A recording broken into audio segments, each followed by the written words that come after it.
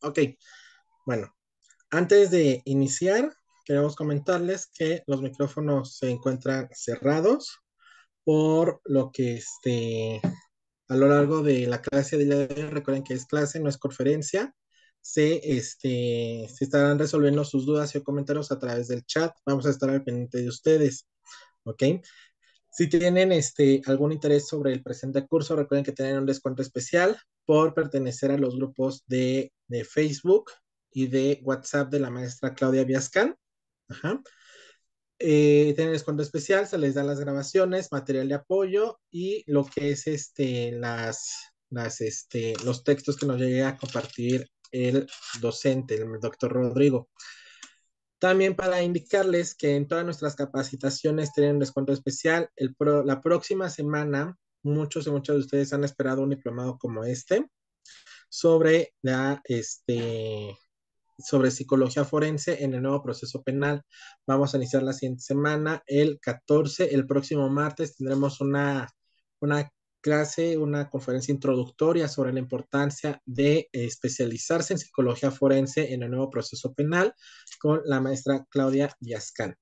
Están totalmente invitados. A lo largo de la conferencia le estamos compartiendo lo que es este, la información del diplomado y los informes. Recuerden que están en semana de inscripción con un descuento especial en las mensualidades y en la inscripción. A su vez, comentarles también que estamos iniciando nuestro tercer módulo del diplomado de protocolo de Estambul. Aún se pueden inscribir. Si alguno de los diplomados dicen, bueno, quiero tomar loco, ah, solo un módulo, lo pueden tomar sin ningún problema, como si fueran cursos. Si tienen alguna duda para quienes están a través de Zoom, por favor realizarla en el presente chat. Vamos a estar al pendiente de ustedes. Y para comentarles que solo esta primera sesión va a ser abierta, las subsecuentes van a ser cerradas para quienes se inscriban al curso. Anteriormente tuvimos una conferencia introductoria, también la pueden visualizar en nuestro canal de YouTube y en nuestra página de Facebook en la sección de videos. Y a nuestros colegas que nos están viendo a través de Facebook Live de la página de Psicología Forense de la maestra Claudia, vamos a estar al pendiente de ustedes en la sección de comentarios. Cualquier duda o comentario, por favor, realizarlo en, en la sección de opiniones. ¿okay? Y bueno, nada, ya para iniciar, le agradecemos muchísimo su paciencia. Tuvimos eventos en estas semanas en el instituto, por eso se había recorrido el, el, el curso. Hoy iniciamos formalmente y tengo el gusto de presentarles a un gran ponente y amigo mío, amigo nuestro, el doctor Rodrigo Ramírez Rodríguez. Él es licenciado en biología por parte de la Facultad de Biología Campus Jalapa. Tiene maestría en neurobiología de la conducta por el Instituto de Neuroetología Universidad Veracruzana. Él es doctor en investigaciones cerebrales en el Laboratorio Neurobiología de la Conducta por el Instituto de Investigaciones Cerebrales, Universidad Veracruzana. Él está certificado en estadística para ciencias de datos en RStudio, Data y Analytics. También él es colaborador para la adaptación en México de The Help Wanted Prevention Program del Center More for Prevention of Child Sexual Abuse de la Universidad de Johns Hopkins, Bloomberg. Y bueno, eh, dirán, bueno, en español es, está certificado y es colaborador para el programa de prevención en casos de abuso sexual infantil. ¿Ok? Entonces, doctor Rodrigo, muchísimas gracias por esta apertura a este curso, su disposición y todo, somos todos suyos, maestro. Bueno, perdón, doctor. Le cedo la pantalla y el micrófono. Bienvenido. ¿Qué tal? Muy buenos días este, a todos aquí presentes. Gracias, licenciado Kevin, por la presentación. Este, pues es un gusto compartir en este espacio que vamos a tener de dos horas para tener esta clase, primera clase, que son tres, introductoria con respecto a ese tópico que ya ven en sus pantallas, que me mencionó el licenciado Kevin. Este, se tuvieron que recorrer por algunas actividades, pero pues ya estamos aquí presentes. ¿Sale? Entonces, este, esto va a ser simplemente el panorama para que las personas que están viendo tanto aquí como en Facebook, porque ya vi que hay gente aquí en, en Facebook, pues vean de qué va, ¿no? Este, este tópico y este, pues debo decir abiertamente que ese tipo de tópicos que son muy especializados, son extremadamente, bueno, digamos, pocos o nulos que se presenten al menos en el contexto norteamericano mexicano, ¿sale? Este ya, este, el licenciado Kevin ya, pues me presentó algunos aspectos, este, su servidor, doctor Rodrigo Ramírez Rodríguez, estoy, este, prácticamente especializado en este campo de delitos sexuales hacia menores de edad, principalmente me interesan a los sujetos que son agresores sexuales o potencialmente agresores sexuales, ¿sale? Entonces, este, aquí tienen mi correo, para la gente que está inscrita, pues me pueden escribir por ahí, por mi correo electrónico. Eh, igual la gente que no está viendo lo puede tener. Asimismo, mi Instagram, por si desean seguirme en mis redes sociales y por ahí también nos podemos escribir, ¿sale? Y bueno, pues este, pues bienvenidos en este espacio y vamos a dar apertura a la presentación. El, este, ya vamos a ver prácticamente cómo va a estar organizado el esquema de clases de este curso, ¿sale? Ese va a ser lo, lo primero que vamos a ver en la clase del día de hoy, que es la clase número uno, va a ser prácticamente una historia con respecto a cómo es que fue evolucionando la investigación con respecto a los delitos sexuales, particularmente abordando los agresores sexuales.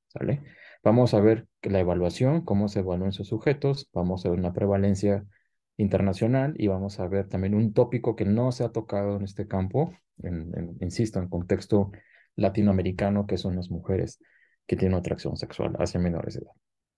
Entonces, la segunda clase vamos a ver los delitos sexuales, vamos a ver victimarios polimorfos, que eso es un concepto este, que se empezó a empezar a usar más esta década por psicólogos forenses de otros países, y las victimarios sexuales, ¿sale? Quizás ustedes digan, ¿qué no es lo mismo la primera que la segunda? La respuesta es no, y van a ver por qué, ¿sale? Y la tercera, vamos a ver algunos aspectos neurobiológicos con respecto a las condiciones de estos sujetos. ¿Sale? Eso es lo que vamos a revisar particularmente. Porque si bien es cierto, pues este, ha subido muchísimo la información que se ha brindado a través de los estudios en psicología y psiquiatría forense en ámbitos penitenciarios de estos grupos, pues también una parte del rompecabezas es saber qué ocurre en el cerebro de estos sujetos. Entonces vamos a ver unas técnicas de imagenología cerebral, que va a ser este bastante ilustrativo porque les voy a compartir un programa, bueno, me refiero a la pantalla, es un programa este donde vamos a poder ver este, ahora sí, este, en vivo cómo es que se hace un, un, escaneo de cerebro, ¿sale? Vamos a ver otro tópico que tampoco nos aborda en, esos, en esos este, contextos latinoamericanos, que es los adolescentes, ¿sale?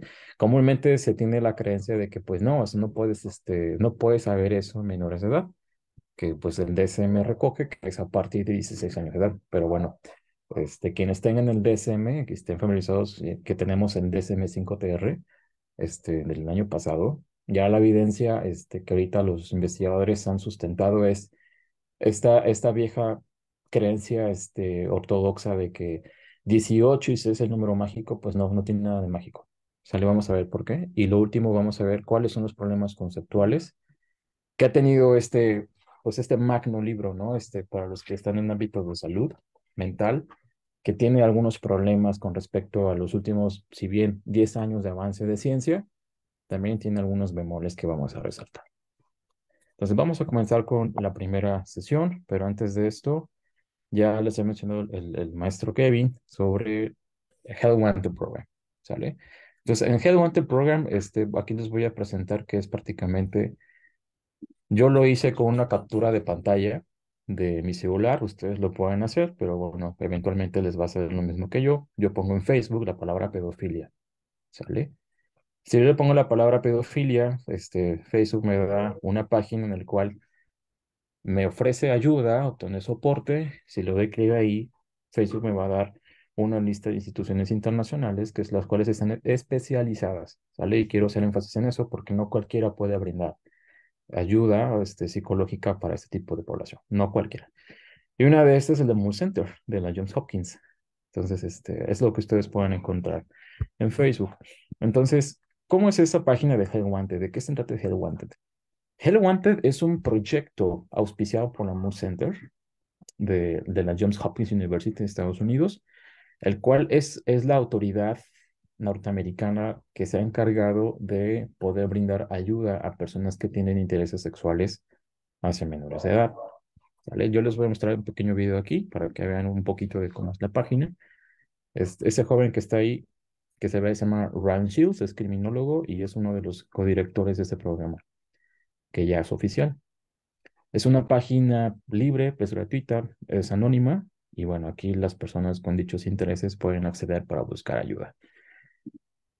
¿Sale? Entonces, bueno, ¿y para qué mencionar esto? Bueno, pues este, Ryan, que está el joven de la, de la derecha en su pantalla, eh, contactó a su servidor de la izquierda de la pantalla hace año y medio aproximadamente para poder hacer lazos académicos y profesionales, luego que me mencionó Ryan que en épocas de, de COVID, en el encierro que sufrimos, pues ya hace casi, tres años aproximadamente, han recibido o recibieron en su momento cientos de llamadas de auxilio desde Latinoamérica.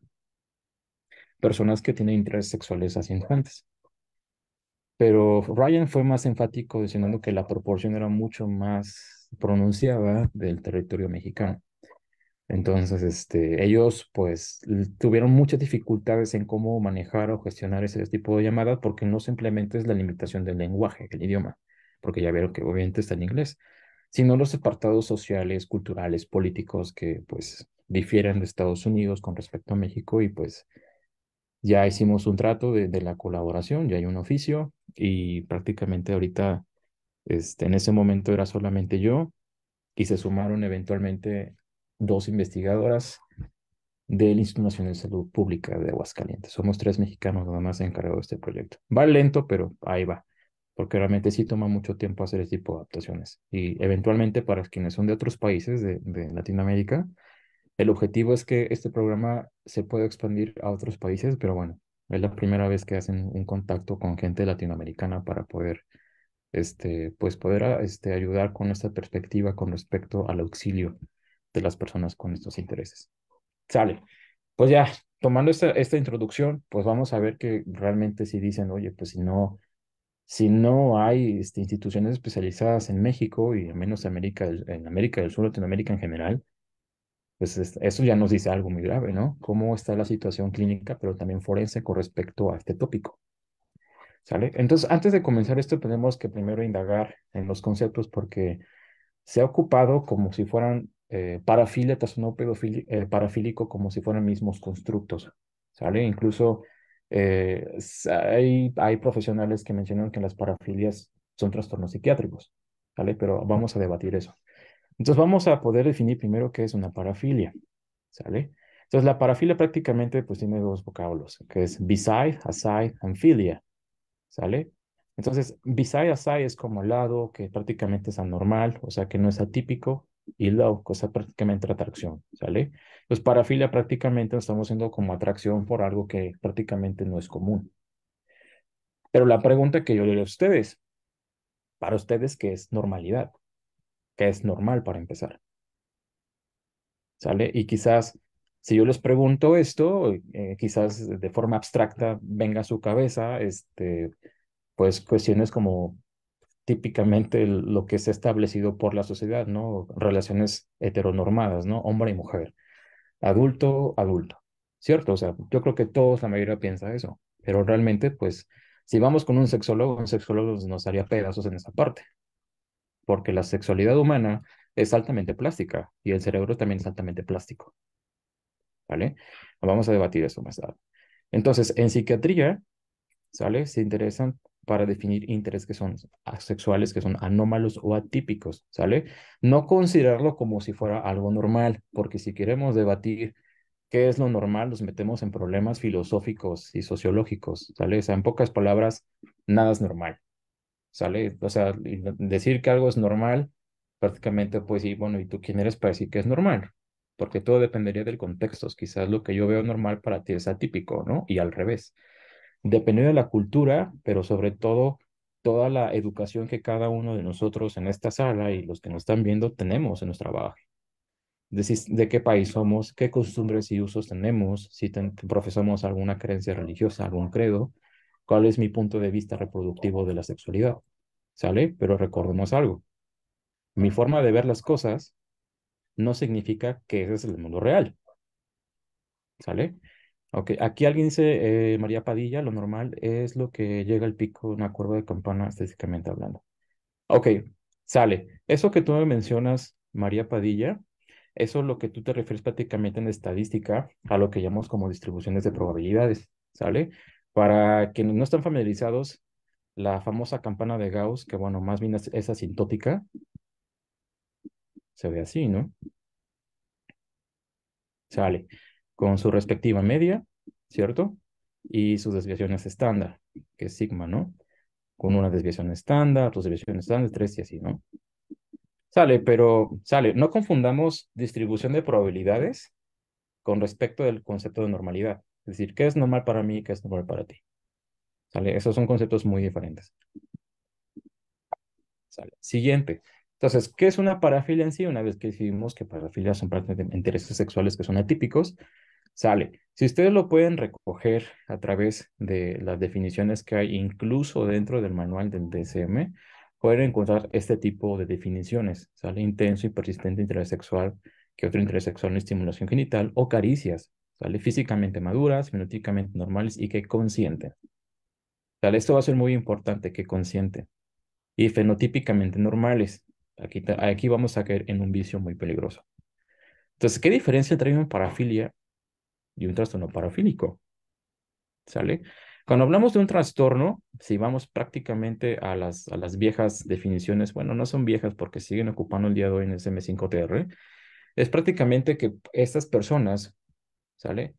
Se asocia con un distrés clínico significativo. Distress es un anglicismo grupo, ¿sale? Eh, prácticamente podemos traducirlo en español como una angustia psicológica, ¿sale? Donde ocurre un desajuste social, ocupacional o atraso de funcionamiento. Sin embargo, no toda parafilia recae en un trastorno parafílico. Ojo, no todas las personas que manifiesten una parafilia significa que hayan cometido delitos o que manifiesten alguna angustia psicológica. Son dos grupos diferentes de personas. Lo vamos a revisar más adelante. Entonces, para disociar este tipo de, conceptos, y eso ya está muy marcado en, el, en el DSM, es el criterio A. Simplemente tienes la atracción, las fantasías y el criterio B, donde tú, además de esto, de idem, además tú ya has cometido delitos sexuales o manifiestas una angustia psicológica por la atracción sexual. Ok, entonces, insisto, la parafilia no es causal de un trastorno parafílico ni viceversa, ¿eh? Ojo con esto. Entonces, ¿cuáles son los problemas conceptuales? ¿Sale? Los signos y los procesos efectivos no son lo mismo, ¿sale? Estudios han fallado en encontrar signos alteraciones conductuales de la psicopatología en personas con ciertas parafilias. Es decir, insisto, no todas las personas que manifiestan una parafilia van a tener una angustia psicológica, ni a menos haber cometido conductas antisociales. ¿Sale?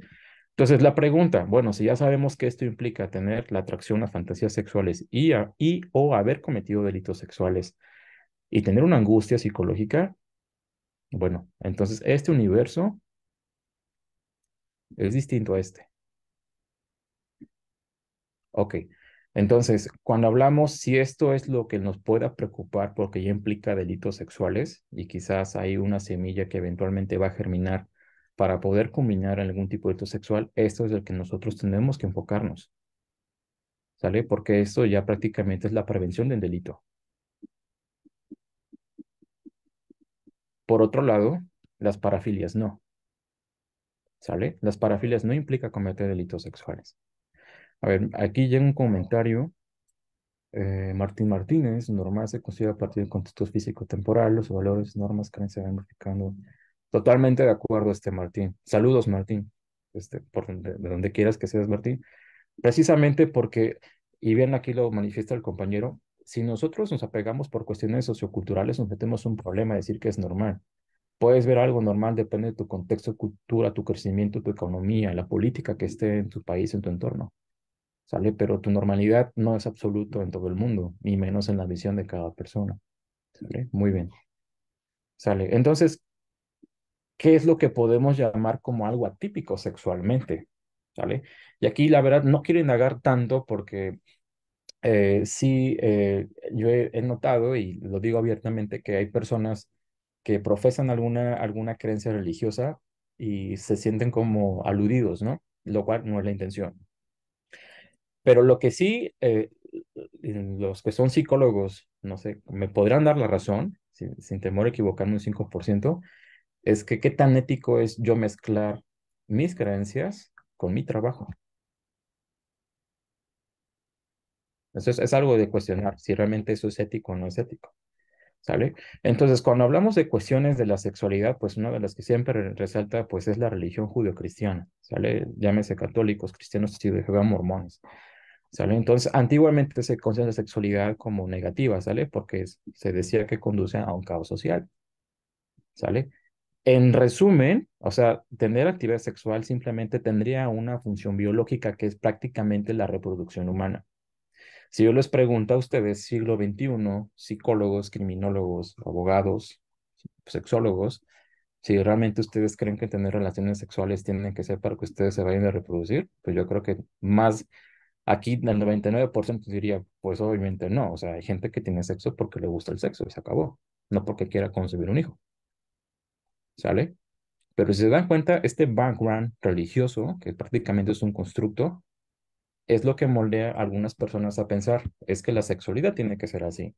Y es que es Adán y Eva, hombre y mujer, etcétera, ¿no? Entonces, para las personas, es más, me deslindo del, del tema de pedofilia para las personas que son parte de la comunidad más Esto siempre ha sido un parteaguas, ¿no?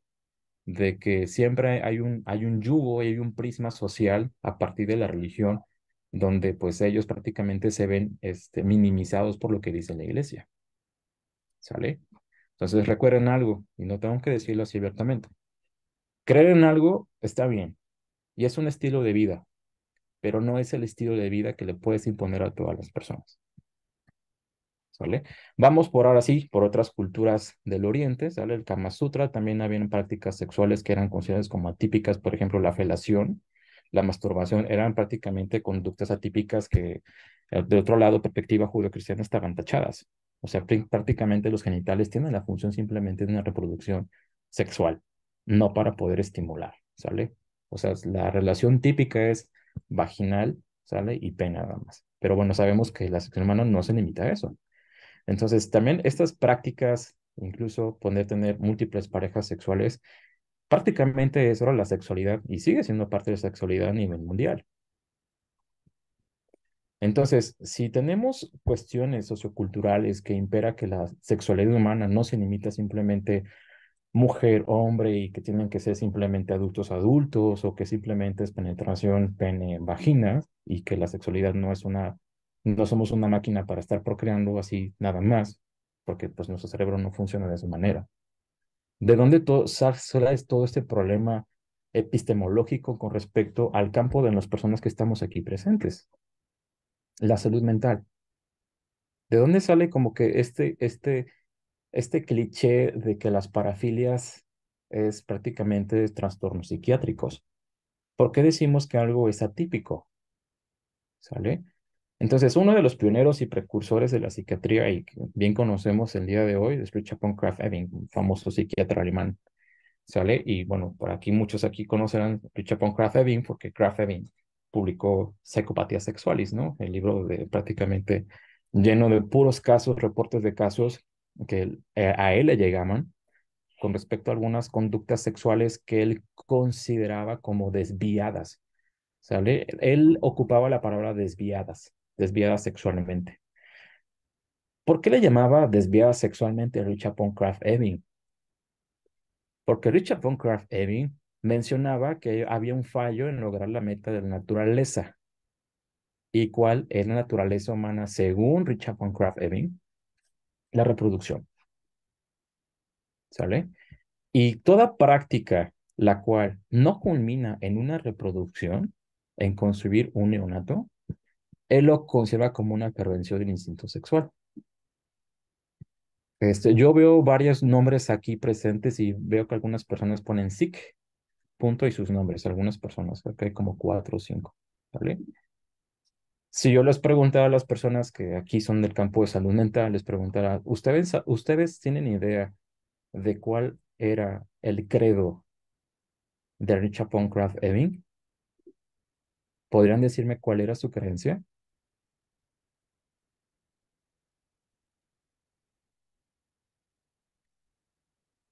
¿Alguien conoce cuál es el credo? O era el credo, porque ya tiene más de un siglo de Richard von Krafft-Ebing. Bueno, Richard von Krafft-Ebing era cristiano.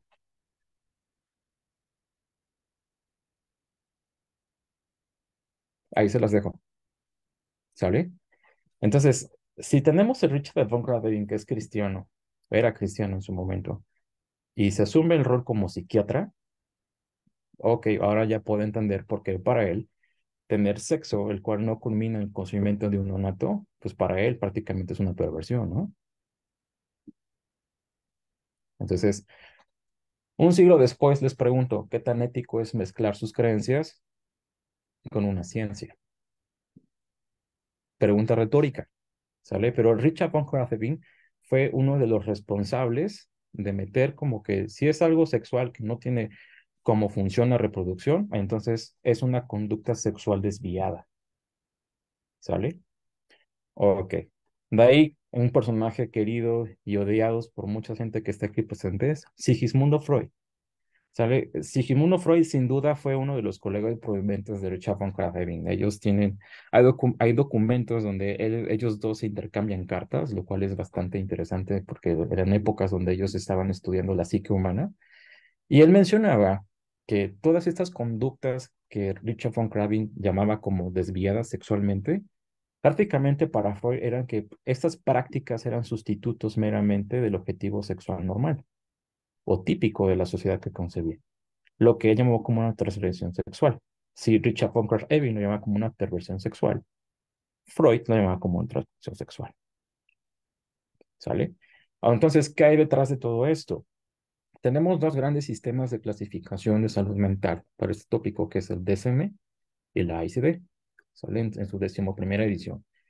¿Sale? Los intereses parafílicos, eso sí que tienen que conocer con respecto a estos dos grandes sistemas, son atípicos, lo que significa que son raros o no comunes, ¿sale?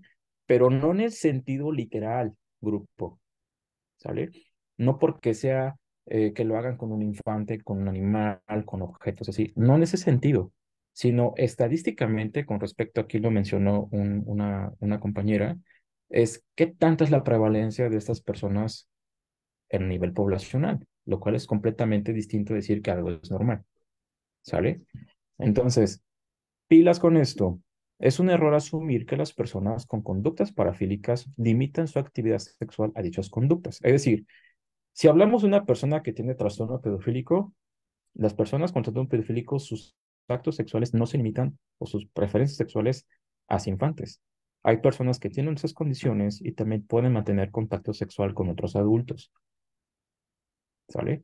Pero siendo más profundo en este tema, la evidencia ha mostrado que las personas que tienen dicho trastorno lo hacen para poder canalizar su deseo sexual, no porque les atraigan sexualmente los adultos. ¿Sale? Entonces, pilas con eso. Pensar de que una persona tiene parafilias y pensar que sola, solamente el 100% de los casos que tiene alguna práctica sexual es con respecto al objeto de esas filias, la respuesta es no. ¿Sale? Su, prácticamente su abanico, su repertorio sexual se puede expandir. Entonces, vamos a la vieja escuela, el DSM, la segunda edición, el de 68 que es una desviación sexual, que el día de hoy conocemos como una parafilia. O sea, antiguamente el concepto era una desviación sexual y esto surgió debido a Richard von Krafft-Ebing. Richard von Krafft-Ebing llamaba como una desviación sexual y la cual se siguió ocupando. ¿Sale? Entonces, en ese sentido, se definía como individuos cuyos intereses sexuales se dirigen principalmente a objetos que no sean el deseo sexo opuesto. ¿Sale? Es decir, aquí ya estamos hablando prácticamente de las prácticas que son entre el sexo, el mismo sexo, personas homosexuales, prácticamente en ese tiempo era considerado como una desviación sexual. ¿Sale? Actos sexuales no asociados al coito, o sea que prácticamente no tendría que implicar pene, vagina, o coito bajo circunstancias bizarras o extrañas. ¿Sale? Entonces, si se dan cuenta, estamos viendo las, los primeros pininos, los primeros pasos que tenía este famoso manual hace ya, hace más de un siglo. El día de hoy ustedes leen esto y dirían, pues esto ya es como muy obsoleto, ¿no? Porque el día de hoy, pues las prácticas sexuales son mucho más amplias. De ahí venimos en el 80, que surgió el DSM en tu tradición. Aquí ya se cambió la palabra de desviación a una parafilia oficialmente. ¿Sale?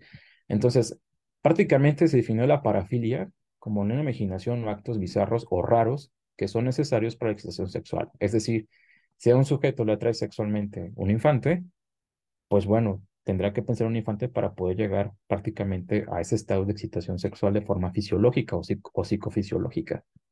¿Sale? Tienden a ser repetitivos e involuntariamente insistentes, lo cual pues el día de hoy ya vimos que se parafrasea, ¿no? Está muy reciclado esta parte, que prácticamente son persistentes y persistentes y persistentes. Cuando tenemos el ICD-11 de la World Health Organization o la Organización Mundial de la Salud, la historia es similar. Pero ¿qué pasó cuando surgió oficialmente la ICD-11? Que de hecho sus primeras versiones se empezaron a liberar en el 2019. Lo que ustedes van a poder encontrar es que la ICD-11, este sistema lo que hizo fue eliminar estas parafilias que ven en sus pantallas. ¿Sale? ¿Por qué? Porque no están asociadas a funciones psicológicas, biológicas o consensual. ¿Sale? ¿En qué sentido? Algo muy importante de esto es que las personas que tienen estas parafilias prácticamente no sufren algún tipo de angustia psicológica y además no están considerados como parte de delitos. ¿Sale? Entonces, si aquí es por objetos, aquí es donde la persona puede tener una relación amo-esclavo y además alguien maneja su indumentaria, pues prácticamente qué daño le está haciendo a alguien. Esto ya no está considerando el DCD-11. Y de hecho, para muchos de los cuerpos de comité del DCM5TR, sobre todo el grupo de trabajo de parafilias, sí están de acuerdo que eventualmente algunas parafilias sean descartadas del manual, ¿sale? Y de hecho, que ya no se recojan parafilias, sino que se, que se recojan trastornos parafílicos. Y preguntarían, entonces, ¿estas parafilias no son trastornos psiquiátricos? Bueno, hasta ahora lo que el grupo del comité del DSM-5TR, que son, es un comité nuevo, porque cambiaron el comité que estaban en DSM-5, eh, la visión revisada en, este, en 2013 cuando se liberó, estaban proponiendo que tendría que quitarse algunas parafilias y simplemente dejar trastornos parafílicos. Después de 10 años ya están cambiando de idea. Tendrían que eliminarse las parafilias como un trastorno psiquiátrico. ¿Sale? Porque no implica cometer delitos sexuales y no implica que las personas que tengan parafilias manifiesten una angustia psicológica. Ok. Entonces, ¿qué es esto de cronofilias? Porque puede ser un concepto un poco atípico para ustedes, como he escuchado parafilias, pero mm, a lo mejor no he escuchado qué es la palabra cronofilia. Bueno, la palabra cronofilia pues surgió del famoso John Money.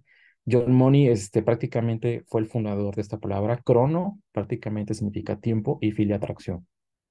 Sale de su libro Love Maps o Mapas del Amor, donde él recoge algunas series de casos en los cuales las personas que son sexualmente maduras tienen una atracción sexual hacia menores de edad, pero no necesariamente menores de edad de forma eh, digamos, menores de adolescentes, prácticamente pueden ser adolescentes que sean longevos, maduros sexualmente, o personas que pueden rondar entre 50 años y tener una atracción sexual hacia jóvenes adultos de 20 años, por ejemplo, ¿no? Y típicamente para la sociedad, si eres una persona de un rango de edad específico, es decir, un grupo etario de 50 años, pues quizás lo esperado por la sociedad es que te atraiga sexualmente a alguien de tu edad. Pero qué raro sería si te fijas a alguien que sea 20 o 30 años menor que tú. ¿Sale? Hablamos de los ochentas, grupo, este libro fue en los ochentas, ¿sale? Entonces, John Money fue prácticamente el fundador de este concepto. Sale, entonces, ya vimos prácticamente que es una parafilia y que la parafilia no tiene nada que ver con un trastorno psiquiátrico. Cuando hablamos de un trastorno psiquiátrico es cuando los sujetos, además de tener una parafilia, hayan cometido delitos sexuales y o sufran una angustia psicológica de la misma segunda parte muy importante. Vean todo el background sociocultural que hay detrás de llamar algo que es típico o no típico, porque no la, palabra normal causa mucha confusión en la comunidad.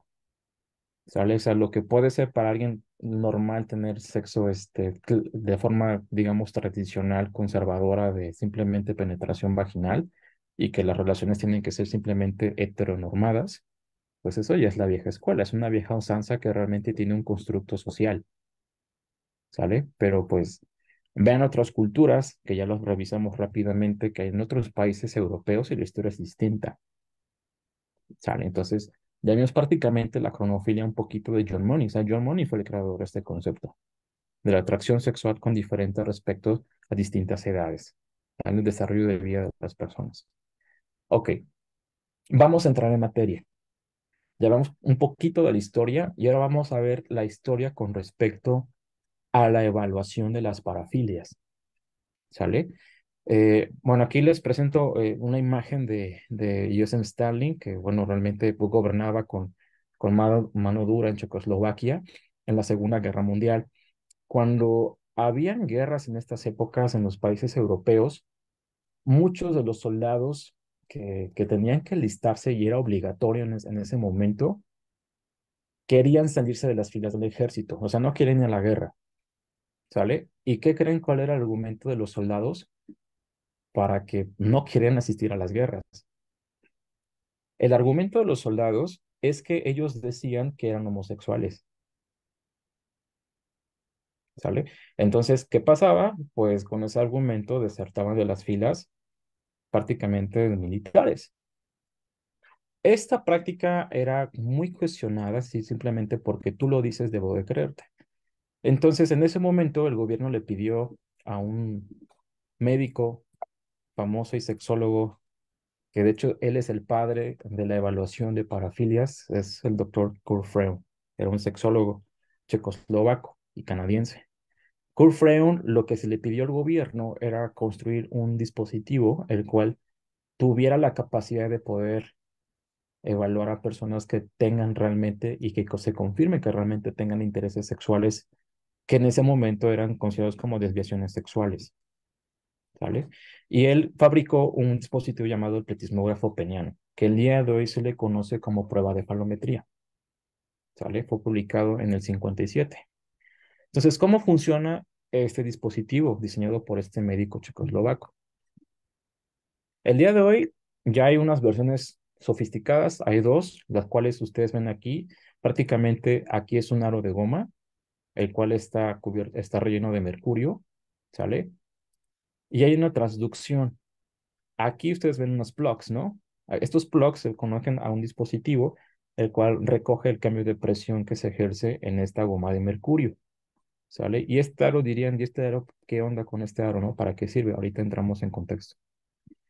El otro formato es este. Igual es un aro de goma relleno de mercurio. Tenemos un tubo de plástico, prácticamente es plexiglas. Y lo único que se coloca en este aro es el pene del participante. ¿Sale? Este aro es para colocar el pene del participante. Entonces, ok, es un pene y ¿qué hacemos con este aro, no? Este prácticamente es el esquema experimental que se hace de forma controlada en laboratorios que tienen con esta infraestructura. Lo que se hace, grupo, con, con este dispositivo es evaluar de forma psicofisiológica la excitación sexual en varones que claman tener algún tipo de preferencia sexual o atracción sexual atípica, ¿sale? Es una sala prácticamente enfrente de ellos, aquí está un personaje de ejemplo, está sentado y lo único que va a hacer es observar frente a él paneles. En esos paneles hay proyectores. En esos proyectores van a visualizar caricaturas. Ojo, no son imágenes reales, ¿eh? Este, van, van a ver caricaturas con formas de adultos y con forma de infantes. ¿Sale? Son prácticamente caricaturas con cuerpos desnudos, pero son caricaturas. Entonces, los participantes tienen que ver las imágenes y asimismo tienen unos audífonos. En esos audífonos hay una narrativa erótica que se reproduce al mismo tiempo que están viendo las imágenes. Sale. Entonces, una vez que se coloca este dispositivo, que de hecho así queda, como la imagen C, hagan en cuenta que ese es el falo o el pene del participante y queda en esta goma. ¿Sale? El cambio de presión que se hace en el mercurio de este dispositivo va a ser mucho mayor conforme el pene genere volumen, es decir, tumescencia del pene. Conforme más sangre llegue ahí y se quede ahí, porque recordemos que una erección, tanto en, en, en humanos como modelos animales, para que se genere una erección se requieren prácticamente vías de señalización del sistema nervioso periférico, ya sea el simpático o el parasimpático. Se requiere que fluya sangre al pene, pero que también esa sangre se quede ahí. ¿Sale? Y bueno, por decir una, este, un punto, las personas que tienen una erección más de dos a tres horas, cuatro horas, o sea, una erección así continua, son personas que corren el riesgo de que su pene pueda bueno, sufrir una gangrena, ¿sale? Porque prácticamente no estás dejando que el oxígeno fluya y que prácticamente el oxígeno lo que lleva es la sangre, pues lo que va a pasar es que las células van a morir, es hipoxia prácticamente, ¿sale? En fin, entonces es así como se mide. Entonces, prácticamente este es un esquema en el cual se pone una caricatura, hay una narrativa sexual a través de los audífonos y los participantes empiezan a manifestar cambios con respecto al volumen de su erección. Ustedes dirían, oye, pero pues a lo mejor esto es manipulable, ¿no? Dirían, no se puede mentir. Bueno, para eso y que son buenas preguntas, la respuesta es que sí, las personas pueden llegar a manipularlo. Sin embargo, eso también ya se ha estudiado. Hay personas que cuando se les muestran esas imágenes, por ejemplo, si es un infante, tienden, por ejemplo, a mirar hacia acá, ¿no? Entonces, ¿qué me garantiza a mí que lo que tú estás viendo, que si eres una persona con atracciones infantes, pero no viste la imagen, viste aquí, a lo mejor digo, no, pues el sujeto salió con un diagnóstico negativo a pedofilia, ¿no? ¿Cierto? Pero la respuesta es que han, han logrado eludir ese tipo de respuestas falsas. Ustedes creo que aprecian aquí que aquí hay una cámara y aquí hay otra cámara. Es más, voy a hacerle un zoom. ¿Sale? Este tipo de bemoles que eventualmente fueron solventados gracias a las investigaciones de décadas de este método han sido cubiertos. Las cámaras lo que van a registrar es que si el paciente deja de mirar al participante, es un paciente que está generando falsos positivos, perdón, falsos negativos, perdón. En este caso prácticamente son falsos negativos, sí. O sea, son personas que están eludiendo prácticamente la tarea visual y están dando respuestas que no deben de ser, no están observando las imágenes. Entonces, si ya son casos que realmente ya cuando se llevan a cosas de estrado, si es algo que se ha debatido con respecto al uso de esta técnica, este, ha sido muy controversial porque es una técnica invasiva, pero siempre y cuando el participante dé consentimiento. La pregunta sería si esto tendría que ocuparse como una evidencia ante un juicio, ¿sale? Eh, aún hay, hay mucha controversia si es permitido o no permitido porque la parte defensora es como que pues esto prácticamente es prácticamente invadir la propiedad sexual de tu, de tu cliente, pero pues el cliente fue el que consintió. O si lo da el orden de un juez de que tienen que hacerlo, pues prácticamente es violar la intimidad de un paciente. Entonces, aún no es como que un estándar que se puede usar en juicios, pero sí, de forma privada sí han hecho los investigadores para dar, dar pie a que las personas con este dispositivo puedan diagnosticarse o no con un tipo de parafilia, ¿sale? Y esto no se ha hecho simplemente con figuras de infantes, ¿eh? También se han hecho en otros contextos, por ejemplo, de violación sexual. Se dan narrativas en los cuales en el audio los pacientes escuchan simulaciones de violación sexual, ¿sale? Incluso también de sadismo sexual. Entonces también ha funcionado para poder evaluar estas parafilias, ¿sale? Ok. Problema. El problema es que este dispositivo no está implementado en cualquier laboratorio del mundo. El país que es el mejor exponente en el uso de esta técnica, que de hecho les, les digo desde ahorita, la prueba de falometría es el estándar de oro. Es el estándar de oro para poder evaluar parafilias. ¿Sale? Porque es una prueba meramente objetiva. Se refleja en el estado psicofisiológico de los pacientes, los cuales es virtualmente imposible de engañar. ¿Sale? Las personas que tratan de suprimir este tipo de respuestas sexuales involuntariamente tienen que dejar de ver la pantalla y además el número de la frecuencia de sus parpadeos se reducen. Paciente que muestra este tipo de conducta es paciente que trata de engañar la prueba. Y déjenme decirles algo. Este tipo de respuestas sexuales son extremadamente difíciles de por sí de poder evadir. Pues Canadá es el mejor exponente, de ahí le sigue Estados Unidos, Alemania, Francia y Ucrania, ¿sale? Entonces, en Latinoamérica, desgraciadamente, carecemos de este instrumento de evaluación. Porque implica, es un dispositivo que cuesta millones de dólares, se requieren instalaciones especializadas y sobre todo personal entrenado para poder evaluarlo. Voy a leer aquí unas preguntas, veo que aquí comentarios. Este, a ver, creo que es abogada Valeria, que es una parafilia situacional y que es una parafilia clínica. Sale, si tú me preguntas, gracias este, Valeria por la pregunta, desde el punto de vista clínico, simplemente cuando hablamos de una parafilia, apegarnos a criterio A que menciona el DSM-5, sale el DSM-5-TR. Tú vas a poder encontrar que prácticamente son pensamientos recurrentes y persistentes de algún objeto de deseo sexual. Si fuera trastorno pedofílico, haz un infante. Si fuera prácticamente, cuando hablamos de sadismo sexual, es pensar en la tortura psicológica y además de la tortura física que se le ejerce a una persona. ¿Sale? Si fuera prácticamente otras parafilias no especificadas que se marcan en el una persona prácticamente si es boyerismo, es espiar, ¿no? Prácticamente este, este acto de espiar a alguien con, más bien sin su consentimiento, el tocherismo, tocar a alguien con respecto a eh, rozar los genitales, por ejemplo.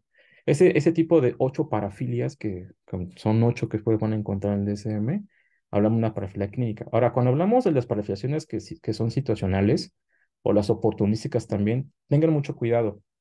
Eh, porque si yo les pregunto a ustedes, bueno, no me quiero adelantar tanto, pero si yo les pregunto a ustedes si un sujeto que comete abuso sexual infantil tiene pedofilia, quizás ahorita más del 50% del grupo aquí presente y los que están en Facebook conectados dirían que sí. ¿Sale? Y aunque la prueba diga que no, ustedes dirían, es que fue, fue espontánea, fue volátil, ¿no? Sale, pero tenemos un problema ahí, porque cuando hablamos de ese tipo de conductas sexuales, que es una práctica sexual, un delito no es lo mismo que una atracción sexual, ¿sale? Es decir, no tenemos que mezclar los conceptos de una atracción sexual con una conducta. Porque una persona puede manifestar una atracción sexual y no ejecutar la conducta. O ejecutar una conducta que no va acorde a su atracción sexual. Cuando hablamos prácticamente de la parafilia es cuando esa atracción es prácticamente puramente exclusiva. ¿Sale? Entonces, si alguien comete algún tipo de acto sexual atípico, que digan, pues esto fue como oportunístico, fue simplemente por la situación, no significa necesariamente que esa persona tenga dicha parafilia. ¿Sale?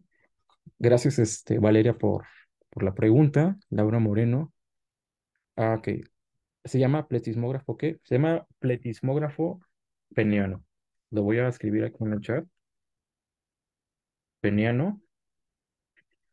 Pero el día de hoy se le conoce también como prueba de falometría. Falo es pene, metría, medida, ¿sale? Prueba de falometría. en inglés es así. Eh, test. Este, Rosy Chaires. ¿Cuáles son las, causas de las parafilias? Uf, Rosy, te me adelantaste a la tercera clase. ¿Sale? En la tercera clase te voy a poder contestar eso. ¿Sale? Por eso vamos a dejar eso al final. Gracias por las preguntas aquí en Zoom. Si desean elaborarlas en Facebook, lo pueden hacer. Yo les contesto con mucho gusto, ¿sale? Porque ahorita no puedo tocar el celular. No, a ustedes, gracias. Muy bien. Entonces, este, para los que somos de aquí en Latinoamérica, no contamos con esta herramienta. Y pensarán, oye, ¿y no, no, no nos sirve el DSM? El DSM5, el DSM5TR no nos funciona. Vamos a verlo un poquito más adelante. Hay otra forma de poder evaluar el trastorno pedofílico sin necesidad de la prueba de falometría. ¿Sale? Para eso se ocupa la escala de escaneo para intereses pedofílicos en su segunda edición. Esta escala fue liberada en el 2017-2018 por los investigadores canadienses. Ya tiene, prácticamente es una prueba que ya cuenta con su validez y confiabilidad. Ya se estandarizó incluso en países europeos y se ha ocupado por un laboratorio nada más en Colombia. ¿Sale? ¿De qué consiste esta escala? Sale, para aplicar esta escala tú no necesitas prácticamente un entrenamiento. O sea, se los dejo así, porque es una escala nada más. Entonces, ¿qué es lo que me va a dar evidencia para poder evaluarlo? Simplemente el historial del sujeto. Eso va a ser suficiente. Esta escala fue fabricada gracias a la prueba de falometría. Lo que hicieron, lo que hizo Michael Cito, que es el, el, prácticamente el fundador de esta escala en 2001, y siguió con Martin Alumier, que es otro psicólogo forense canadiense, fue ocupar los registros de agresores sexuales y determinar cuáles fueron las respuestas que recibieron de la prueba de falometría. Se dieron cuenta que había, en su momento la primera edición era cuatro ítems nada más, ahorita son cinco. Los ítems que ellos se dieron cuenta que se correlaciona con el aumento de excitación sexual a ver infantes eran estos cuatro en la primera edición. Tener víctimas varones, ¿sale? múltiples víctimas infantojuveniles y víctimas extrafamiliares. Y ustedes dirían, ¿y de dónde sacaron estas variables? ¿Sale? Estas variables han surgido a lo largo de décadas de investigación empírica. Han encontrado que muchos de los agresores sexuales de infantes, sus víctimas, su mayoría son estas. ¿Sale? Dirían, oye, ¿y a, qué las niñas, que las niñas no son las víctimas por excelencia a nivel internacional? La respuesta es sí. ¿Sale? Aunque tendría que decirle que hay un no cuando se, se habla de África. En África los datos de prevalencia de abuso sexual es otra historia. Ahí las personas que son victimizadas sexualmente más son los varones más que las niñas en África, ¿sale? Al menos de lo que se tiene registrado. Pero eso es lo que marca la evidencia, ¿sale? Entonces se dieron cuenta que estos ítems se correlacionan de forma positiva con respuestas de excitación sexual. Entonces, pilas con esto. La mayoría de las víctimas de personas con trastorno pedofílico son varones, no son niñas, la mayoría. No confundamos la causalidad o el 100% de casos o el caso de excepción. No, eso no vale, ¿sale? Esa es la probabilidad. Esos cuatro ítems. En su segunda edición, que es esta que les muestro, se agregó el ítem del consumo de pornografía infantil. Ya vi que hay abogados aquí. Eh, de forma jurídica se maneja como pornografía infantil, pero los investigadores extranjeros, tanto de Norteamérica como de Europa, han sido muy insistentes en que el término ya tendría que modificarse al consumo de material de explotación sexual infantil o material de abuso sexual infantil. ¿Sale? Por cuestiones de semántica. O sea, pornografía porque prácticamente implica que son mayores de edad y que con lo consienten. ¿Cierto? Pero pues siendo realistas, pues los infantes no son ni adultos, no son sexualmente maduros y tampoco no pueden consentir este tipo de acciones que son ilegales. ¿Sale? Entonces, si ustedes tienen una práctica forense y tienen a personas de estado de reclusión en penitenciaría y tienen acceso a los expedientes, documentos, transcritos de su vida delictiva, ustedes ya pueden prácticamente cotejar si esa persona tiene trastorno pedofílico, simplemente por ver sus expedientes. Y esta escala, insisto, ya fue construida a lo largo de casi 18 años de investigación y ya está validada y, prácticamente tiene su confiabilidad. ¿Sale? Problema. Este simplemente funciona para ámbitos forenses. Si ustedes tienen una práctica clínica, no lo pueden ocupar porque regresamos a lo que vimos en diapositivas anteriores. No toda persona que tenga pedofilia significa que haya cometido delitos sexuales, ni que, ni que muestra angustia psicológica, ¿sale? E incluso una persona que tenga trastorno pedofílico, es decir, la atracción sexual y angustia psicológica, no significa que esa persona vaya a cometer delitos sexuales o que haya cometido delitos sexuales. Pilas con eso. Esta escala funciona para ámbitos forenses, no para ámbitos clínicos ni comunitarios. Sale. Otra forma de evaluarlo, que es bastante subjetiva, es a través de la escala de estadios de Tanner. ¿Sale? Tiene cinco estadios. Aquí ustedes pueden ver prácticamente el desarrollo corporal, sexual de la población infantil-juvenil. ¿Sale? Del estadio 1 prácticamente son estados prácticamente neonatos o características neoténicas hasta estadios más longevos que es el estadio 5. Quiero que aprecien que desde la escala 1 hasta la 5 empieza a ver la presencia del desarrollo de caracteres sexuales secundarios. ¿Sale? Por ejemplo, en el caso de los varones, que el escroto empieza a alargarse, que empieza a verse el vello púbico, que el pene y testículos empiezan a tener mayor tamaño, En el caso de las mujeres, por ejemplo, que empieza a haber el desarrollo de mamas, empieza a haber el vello púbico principalmente y mayor presencia de los labios, ¿no? Entonces, ¿esto ha servido de forma clínica? Sí, esto sí se puede aplicar de forma clínica y en algunos ámbitos forenses. Pero si a ustedes les interesa simplemente el trastorno pedofílico, en ámbitos forenses, váyanse por esta, no por esta. Si ustedes se quieren ir por un ámbito que es puramente clínico, váyanse por esta. Esta no es para eso. ¿Sale?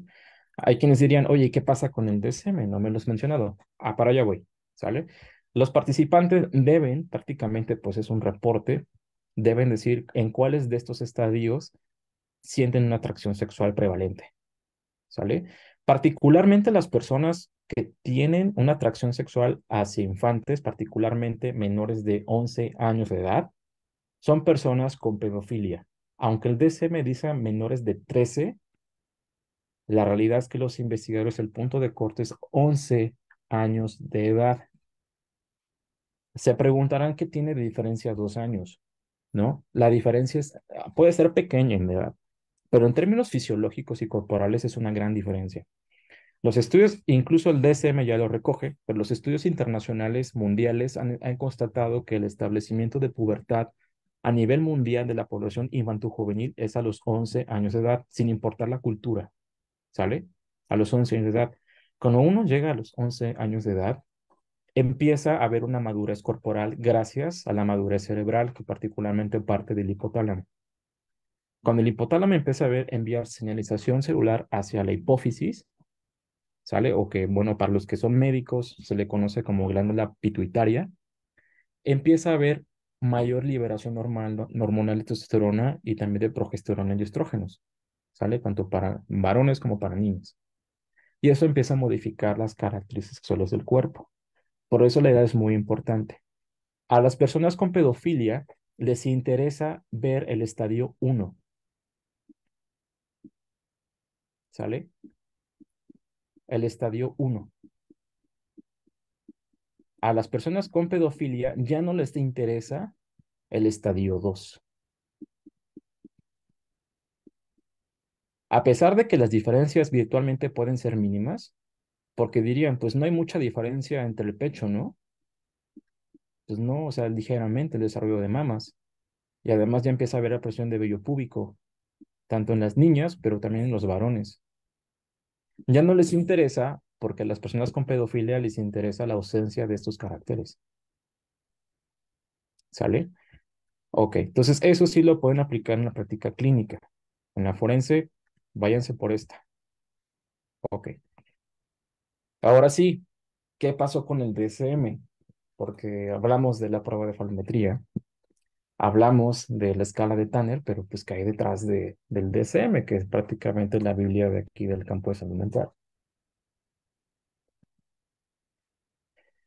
Cuando hablamos del DSM tenemos evidencia de que sí, pero también tenemos evidencia de que no. ¿Sale? ¿Y de qué ha variado esa evidencia? Ha, ha variado muchísimo del tipo de muestra que tienen. ¿Sale? Porque recuerden que el DSM simplemente es una guía de referencia. ¿Sale? No sé, incluso en el DSM constata, constata que no debe ser ocupado para fines de investigación, ¿eh? Y eso ya lo dice el DSM. Entonces, ¿qué es confiabilidad y qué es validez? ¿Sale? Cuando hablamos de confiabilidad es cuando más de un investigador si yo encuentro que yo tengo un grado de acuerdo de, no sé, si yo vi que de estos ítems, yo digo que encontré esto, y si yo tuviera un par conmigo, otros dos pares, y aplicamos los mismos ítems, lo que se encuentre de forma ponderada va a ser casi el 70 o 80% que es estadísticamente aceptable. ¿Sale? Es decir, los tres estamos viendo lo mismo. Eso es una confiabilidad en este campo. Ahora, cuando hablamos de validez, la historia es diferente. Cuando hablamos de una validez es si realmente el ítem que yo estoy ocupando en mi prueba está evaluando lo que yo quiero evaluar. ¿Sale? Si yo quiero evaluar excitación sexual, a lo mejor además del pene, que ya vimos es esto, porque prácticamente es una respuesta de excitación sexual, el pene es una vía. Pero otras vías que se han establecido el día de hoy es a través del el movimiento del rastreo ocular. Estas son técnicas súper más sofisticadas que se están desarrollando ahorita, 2023. ¿Sale? Entonces, eso es la confiabilidad y validez. ¿Qué ha pasado con el DSM? Quiero que vean las fechas, ¿eh? Porque en estas fechas estaba el DSM-3, DSM-4 más bien, estaban estas fechas. DSM-4, DSM-4, DSM-5. ¿Sale? Pero quiero que se den cuenta de los porcentajes de valores de capa. Generalmente cuando, mm, cuando es algo aceptable, se tiende a tener valores de capa que puedan superar más del 60% o 70%. Es lo mínimo esperable. Pero ¿cómo ven ustedes aquí los valores de capa? Diría, si yo clínico tengo otros cinco colegas y estamos evaluando y decimos, pues no, no estamos llegando a un buen porcentaje, ¿no? Entonces, el DSM, ¿qué tan bueno es en su confiabilidad? Pues, pues ni bueno, ¿verdad? No estamos llegando a un buen acuerdo. Ahora vamos aquí a la validez. ¿Se está midiendo lo que se quiere medir? Bueno, Wilson dice que es una, realmente es débil. Otra investigación dijo que no hay validez. Y solamente el único trabajo que ha evaluado esto fue el de Michael Cito, el que desarrolló la escala de la SSPI 2. ¿Sale? Él encontró que al menos con estas curvas, que son prácticamente área baja la curva, se ha mostrado que tiene un 70% de confiabilidad, lo cual es aceptable, ¿sale? Es aceptable, pero no bueno, ¿eh? Aguas con eso. ¿Se puede ocupar, en otras palabras, el DSM sí o no? La respuesta es, ¿lo puedes ocupar? Sí. Pero lo que encuentres, no creas que eso es la verdad absoluta. Recuerden que el DSM simplemente recoge datos que son de autorreportes, que son declaraciones. ¿Sale? Pero alguien puede manipular la entrevista. Entonces, ¿cómo le hago cuando está sujeto a una entrevista donde se puede sesgar la información? Pues bueno, ya estadísticamente, pues no es tan buena la confiabilidad y validez es aceptable, pero no buena. Entonces, pilas con esto. Entonces, tenemos otras herramientas que vimos anteriormente para poder hacerlo. Estadios de Tanner, el SSPI2 y la prueba de falometría. O sea, el DSM no es como que el santo grial para, pero no, pues realmente no es así. Ok. Entonces, les presento a Michael Cito. Michael Cito, él, es el psicólogo forense y sexólogo que desarrolló el SPI y actualmente él fue el que dirigió el comité del grupo de trabajos de parafilias para el desarrollo de criterio del DSM-5TR. ¿Sale? Michael Cito es, es, un, es un crack, o sea, él, es uno de los, digamos, contemporáneos siglo XXI, experto en este campo, en, en todo el mundo, ¿eh? Y fue, pues él fue el psicólogo forense contratado por Ashton Kutcher para poder trabajar en su, pues, en su institución no gubernamental que se llama TORN, que se encarga de la cacería, búsqueda y rescate de víctimas de delitos sexuales infantiles. ¿Sale? Así de crack es Michael Cito. Entonces, Michael Cito nos hablaba prácticamente, no solamente fundó este tipo de sistemas de evaluación, sino también retomó y rescató y renovó el concepto de cronofilas de John Money. ¿Sale? Michael Cito en este plano cartesiano nos dice lo siguiente. Tenemos dos tipos de espectros que podemos nosotros en esta sala y los que están en Facebook viendo esto, seguir a lo largo de nuestro desarrollo de vida. ¿Sale? Si eres una persona que tiene 20, 30, 40, 50 años de edad, quizás tú sabrías que las personas que te atraen quizás no sean infantes, quizás sean personas ya mayores de edad o contemporáneos, ¿no?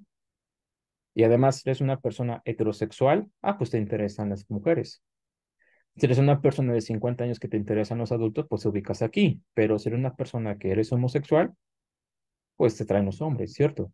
Ok, eso es lo típico y lo con mayor prevalencia.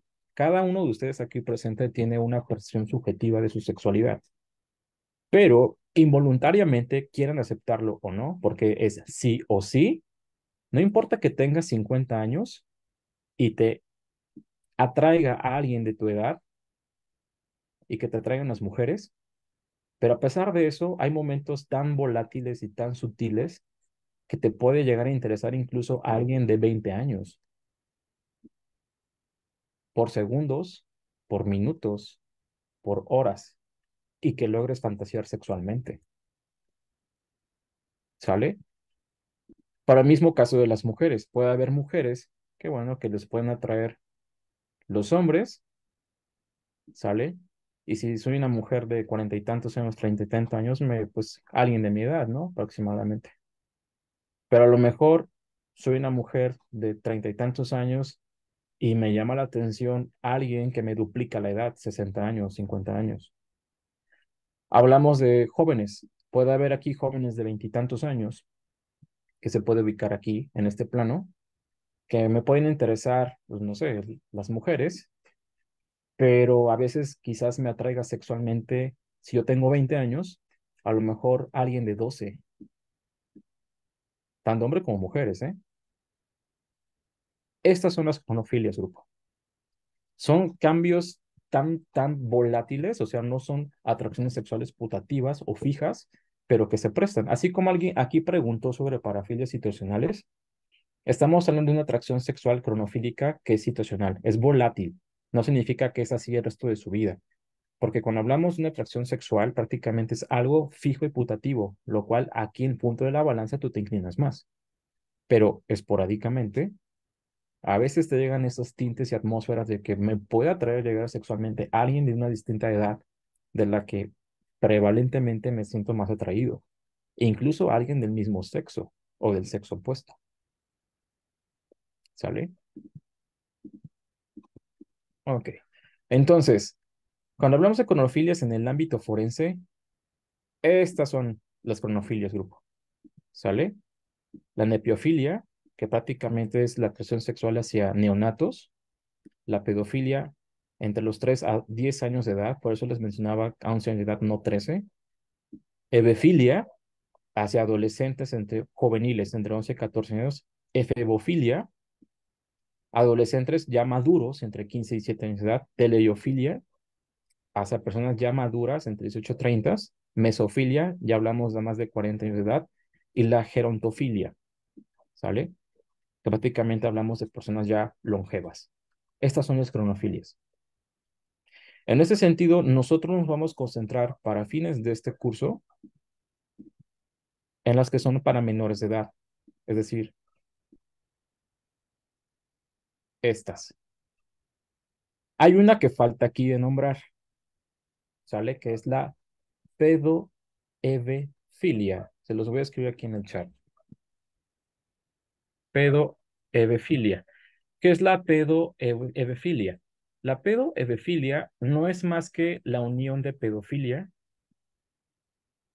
que recordemos son para infantes, entre los 3 a los 10 u 11 años de edad, y la ebefilia, que hablamos de adolescentes, ¿sale? Que pueden ir desde los 11 hasta los 15 y 7 años de edad. Pues una pedoevefilia es la unión de ambos. O sea, son personas que les interesa exclusivamente infantes y adolescentes. Ambos grupos de desarrollo les interesa. ¿Sale? Ok.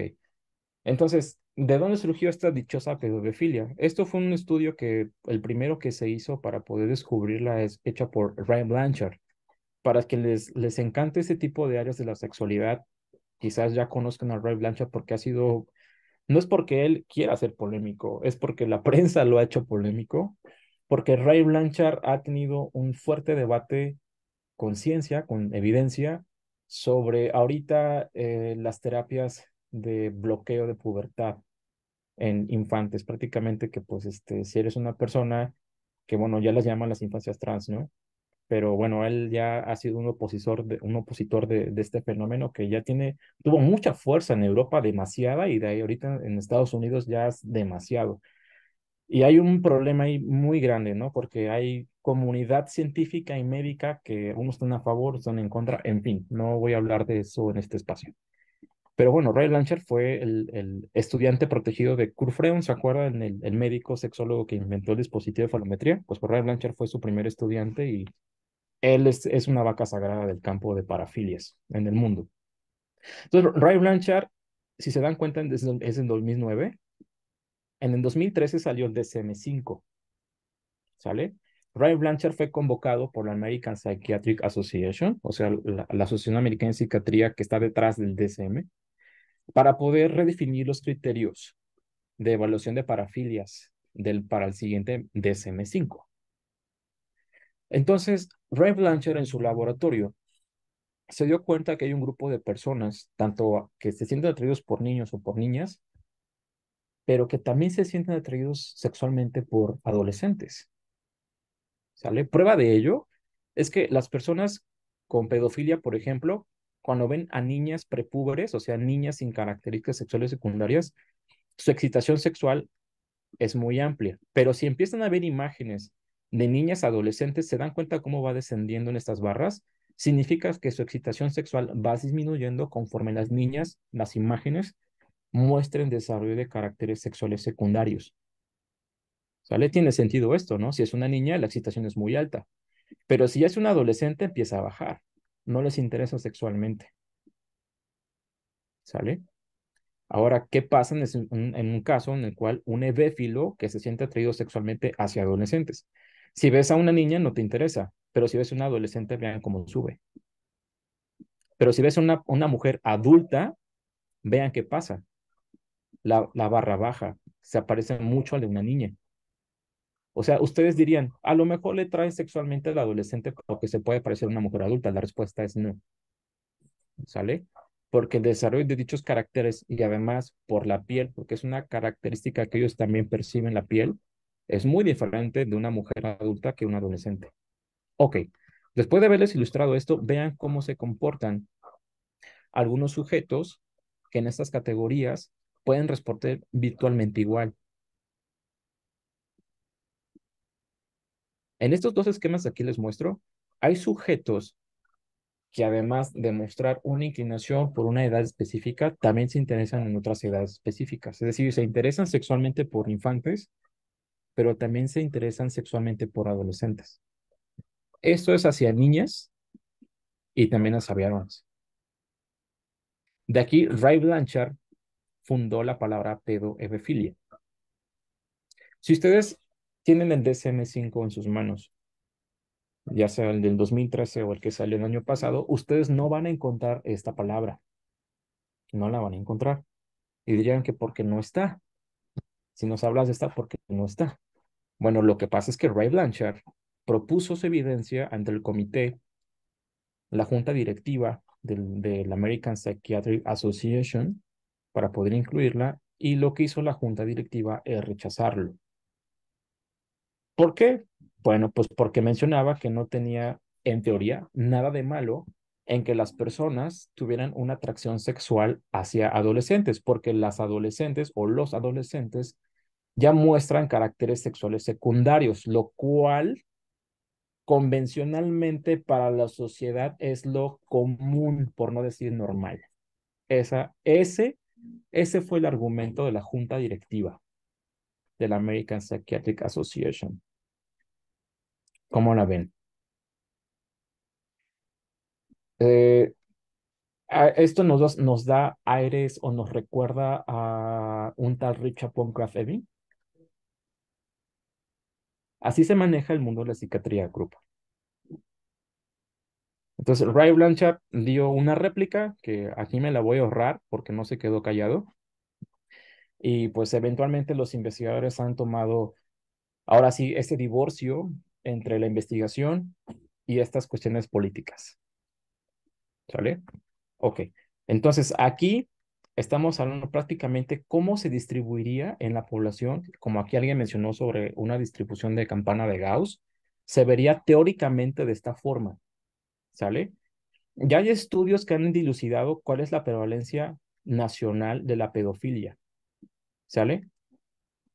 Pero son pocos estudios los cuales, de hecho, son simplemente muestras pequeñas y se han dado cuenta que con la presencia de esta población entre nosotros, o sea, prácticamente mayores de edad, la atracción sexual, sigue una campana similar. Es decir, hay muy pocas personas registradas que les interesen los bebés, los neonatos.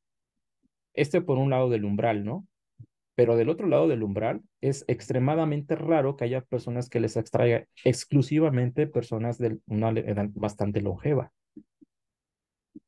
Poblacionalmente, esto es lo típico, ¿no? Que personas sexualmente maduras, tener contacto sexual, fantasear con personas sexualmente maduras, ¿no? Esto es lo convencional socialmente.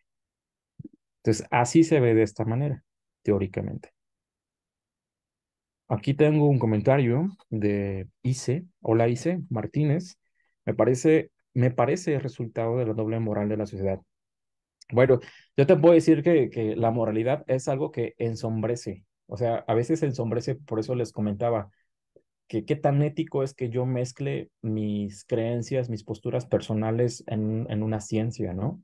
Llega a ensombrecer muchas cosas y conozco una que otra persona que lo hace. Entonces, pilas con eso, porque tiene grandes repercusiones al final. ¿Sale?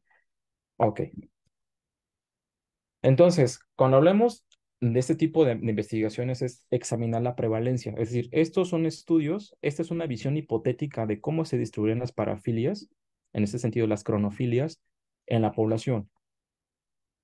Pero cuando se van a estudiar, les, les hago una invitación.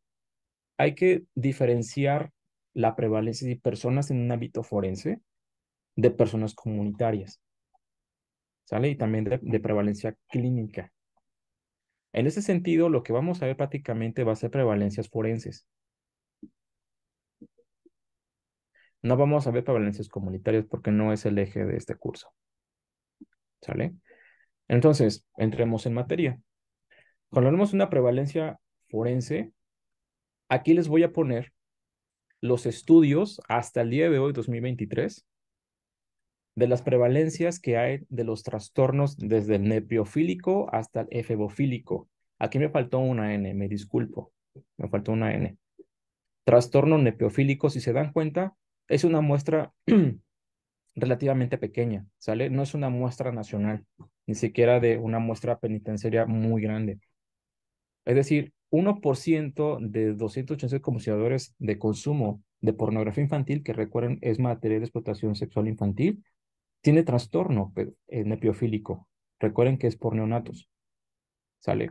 Si 286 es el 100%, ¿cuánto es el 1%? Si yo multiplico prácticamente, eh, eh, pongo 1 por 286, lo divido entre 100, me van a dar prácticamente 28 personas, ¿no?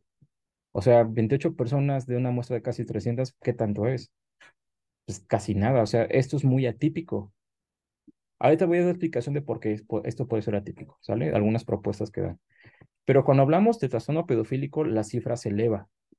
Este es el único estudio que fue publicado en el 2019. Me faltó la fecha, me disculpo también, fue en el 2019. En una muestra de ámbito penitenciario, ¿sale? Lo que se encontró es que de 400 agresores sexuales de niñas y niños, solo el 14% dio positivo a trastorno pedofílico. Solo el 14%. ¿Sale? Vamos a regresar también a este punto.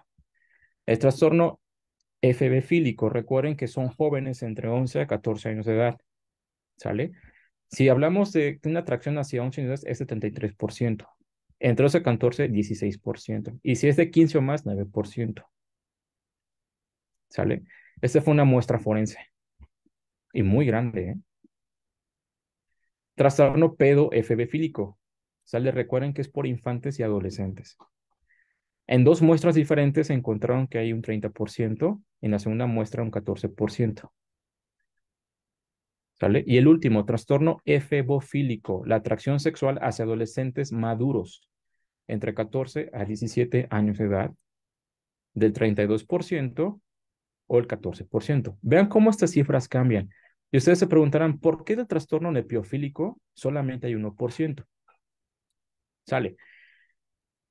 Lo que han debatido los investigadores, el por qué puede ser 1% para estos sujetos, es que es altamente probable, mm, no es tan probable que un sujeto pueda cometer delito sexual hacia un neonato.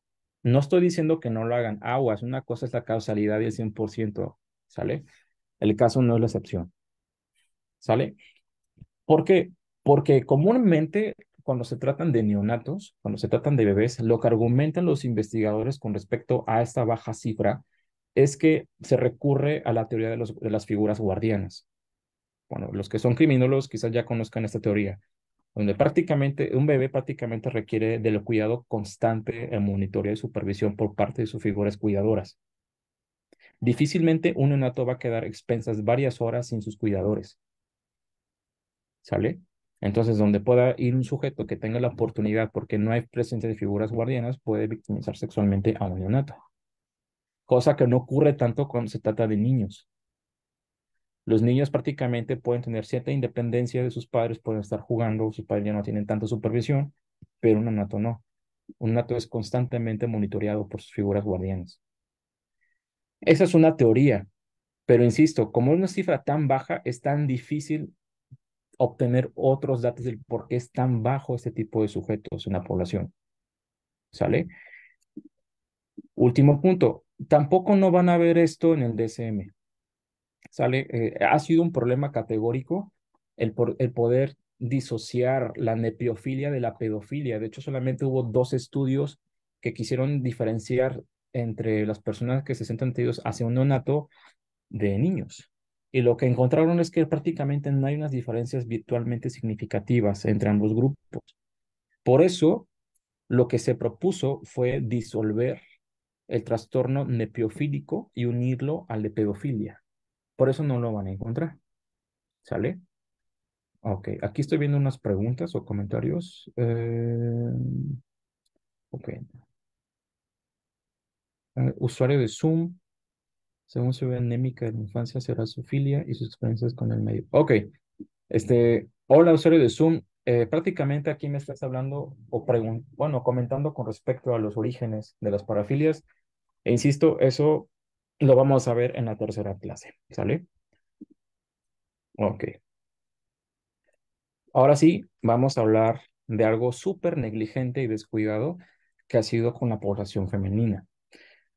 Es cierto que la presencia de parafilias en el sentido de delitos sexuales es prevalente en los varones, pero no significa que no ocurra en las mujeres. ¿Sale? Prácticamente, eh, cuando se trata de evaluar a esta población, que son las mujeres, los resultados son muy ambiguos. ¿Sale? Prácticamente las técnicas que se ocupan en evaluar ese tipo de parafilias en los hombres no necesariamente se utilizan mujeres. ¿Sale? Yo les había hablado de la prueba de falometría y dirían, ¿y cómo sería para el caso de una mujer que no tiene falo? Bueno, sí hay una prueba grupo. ¿Sale? Esa, esa prueba que se ocupa prácticamente es la emisión de fotones. ¿Sale? A, las mujeres lo que la prueba, que de hecho no hay una imagen para esto, desgraciadamente, pero es un dispositivo que se coloca en, en el conducto vaginal de las mujeres y empieza a emanar una luz. Esa luz que se emana en el conducto vaginal de las mujeres, lo que va a hacer es captar la vascularidad sanguínea en la pared muscular de las mujeres en su vagina. Entonces, los estudios han puesto a mujeres con estos dispositivos y las mujeres tienen que visualizar como lo hicieron los hombres con los paneles y figuras, ya sea de figuras infantiles o de figuras adultas. No hay diferencias, grupo. Es decir, ustedes dirían, ¿cómo que no hay diferencias? Es decir, lo que muestra la vascularidad sanguínea en la vagina en las mujeres es igual hacia un niño y un adulto, son iguales. Y ustedes dirían, o sea que a las mujeres les interesan adultos y niños. No, no necesariamente. Lo que pasa es que no hay un dispositivo especializado para poder evaluar ese tipo de parafilias en las mujeres. No significa que sea así, porque recuerden que también tenemos limitaciones técnicas. ¿Sale? Ese es un problema que tenemos en el día de hoy. Ese fue un trabajo que sacó eh, Rebecca Livisley, es una psicóloga forense inglesa, donde tuvo una serie de entrevistas con seis mujeres de diferentes países, solo seis mujeres, porque estudiar esta muestra es extremadamente compleja, porque no muchas mujeres quieren participar. Y la presencia de las de mujeres con estas parafilias son extremadamente raras. ¿Sale? Las mujeres que charlaron con Rebecca Livisley, este fue un estudio cualitativo de series de casos, prácticamente lo que manifiestan es una existencia secreta solitaria, ¿sale? Donde manifiestan sentimientos de soledad, alineación, identidad oculta, disociación de la revelación. Es decir, son personas que a diferencia de los varones que han tenido, pues digamos, mm, menos barreras, no quiero decir mayor facilidad, porque es otra cosa, pero las mujeres sí que lo han tenido muy difícil, porque socialmente se ha establecido que los hombres son los que cometen más delitos sexuales y son quienes manifiestan más parafilias. Ese estigma social es internalizado por estas pacientes, ¿sale? Donde no pueden realmente develar cuál es su atracción sexual hacia infantes o hacia adolescentes. También se dice que es una minoría dentro de una minoría, es decir, si de por sí la, la atracción sexual hacia menores de edad de manera poblacional es una minoría en varones, en mujeres es el doble de una minoría.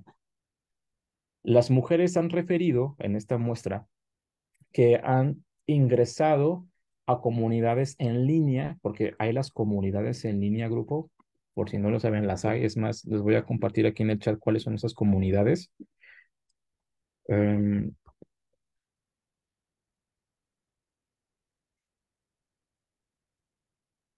así se llama Virtus Pedophiles y Before You Act. Son las más famosas. De hecho, Virtus Pedophiles tiene su página y también Before You Act. Y también tiene sus cuentas de Twitter. Son comunidades de personas que tienen estos intereses sexuales. Las mujeres que entran a estas comunidades han sido burladas y desacreditadas por los varones que están en estas comunidades. ¿Por qué? Porque clásicamente la visión es que simplemente han sido hombres. Entonces los hombres de esas comunidades no creen que haya mujeres con este tipo de preferencias, pero la realidad es que sí las hay. ¿Sale? Entonces cuando hablamos, perdón, de estos delitos sexuales, la historia cambia. Usualmente tendemos a pensar que los delitos sexuales hacia mujeres es una minoría, pero bueno, los datos dicen otras cosas. Cuando se recogen datos de fuentes oficiales, de fiscalías, ¿sale? Reportes de policías, quizás la prevalencia, esto fue un estudio de 12 países, ¿eh? Es un estudio de metaanálisis, 12 países. Y se encontró que simplemente las víctimas refirieron que entre el 0.4 al 7% de sus agresoras eran mujeres. ¿Sale? Víctimas infantiles. Sin embargo, la historia cambia cuando ustedes van a entrevistar a las víctimas, no en un ámbito fiscal. ¿Sale? Lo que se encontró es que el 24% de las víctimas señaló a su agresor a una mujer. O sea, cinco o seis veces más de lo que se reporta en la policía, unas fiscalías. Vean este mundo de diferencia. ¿Sale? Cuando se trata de las edades de las víctimas o las victimarias, usualmente las victimarias tienden a ser jóvenes, más que victimarias adultas. ¿Sale? Que pueden oscilar jóvenes entre los 15 hasta los 25 años de edad aproximadamente. El sexo de sus víctimas prevalentemente son hombres. Así en el caso de los hombres, la víctima por excelencia son las niñas. En el caso de las mujeres, las víctimas por excelencia son los varones. ¿Sale? También niñas, claro está, aquí está la cifra, pero vean, o sea, siete, ocho veces más son las, las víctimas masculinas que las femeninas. Aquí están las referencias. Las personas que están inscritas al curso ustedes van a tener acceso a las diapositivas y también al material de apoyo. ¿Sale? Y obviamente al resto de las clases. Entonces, ese es el panorama general con respecto a las parafilias, a las cronofilias y a los delitos sexuales. En la siguiente sesión vamos a ver prácticamente factores de riesgo y cómo están las variables de delitos sexuales. Y en la tercera sesión vamos a ver los factores de neuroimagen biológicos que hay detrás de todo esto y determinar si realmente las experiencias de vida, o sea, el aprendizaje, traumas, abusos sexuales, etcétera, realmente moldean o no moldean esto. Recuerden, una cosa es la conducta y otra cosa es la atracción sexual. ¿Sale?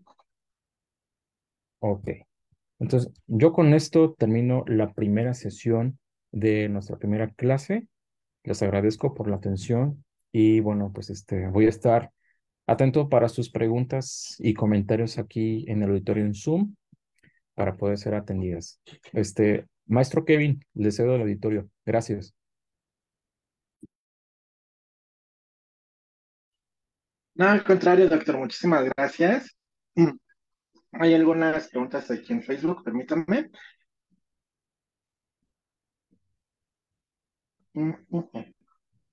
Bueno, de lo que me envían las preguntas, les queremos comentar que aún se pueden inscribir al, este, al curso. Ya es nuestra primera sesión. La segunda clase ya va a ser acceso a quienes están inscritos. ¿sí? A ver, la primera pregunta es si podría repetir la, la, este, la definición de las cronofilias, doctor.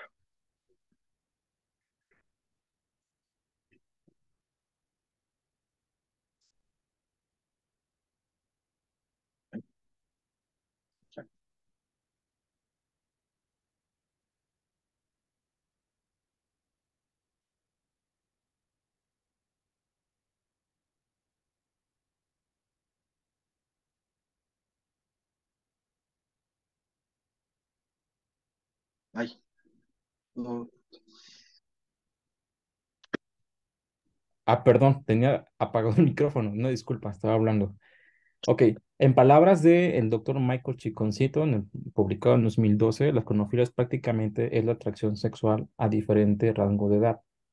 ¿Sale? Para el objetivo de este curso va a ser cronofilias, pero de menores de edad. Nepiofilia, pedofilia, hebefilia, pedobefilia y efebefilia. Cinco estadios de edad. Ok.